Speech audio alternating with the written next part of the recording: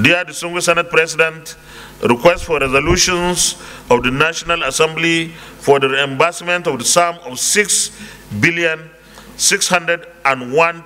million, seven hundred and sixty-nine thousand, four hundred and seventeen naira ninety-nine kobo to Plateau State Government and the sum of three billion, eighty-four million, seven hundred and sixty-nine thousand, three hundred and ninety-three naira sixty-three kobo to Borno State Government through the issuance of promissory notes in respect of federal road projects executed by the states.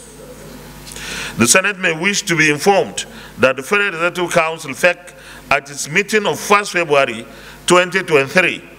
approved,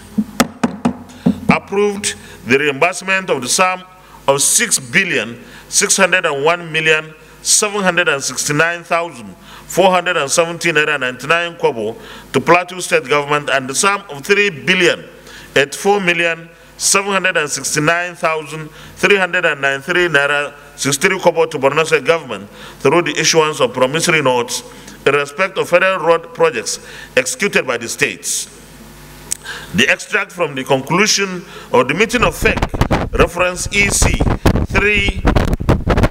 2025, is attached as appendix.